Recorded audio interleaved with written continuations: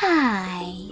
In front of me is Tecno Spark Go 2022 and today I would like to show you how you can set up Face Unlock on this device.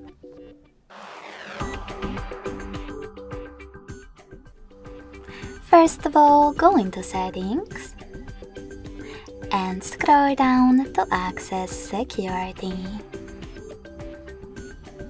Then tap on Face Unlock and enter your current login method. When you're ready, tap on Enroll Face. Choose Next. And keep your face in frame. Follow all of the instructions from your screen.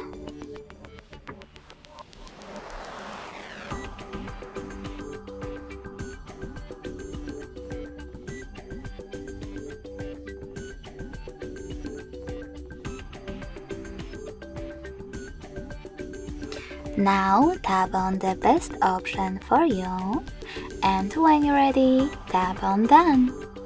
So when I switch off my screen, then turn it back on, I can see that face unlock is working properly.